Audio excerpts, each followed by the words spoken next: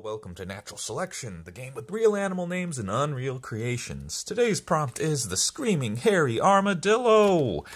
So this guy over here is the Screaming Hairy Armadillo. Now you might notice right off the bat, it does not curl up into a ball.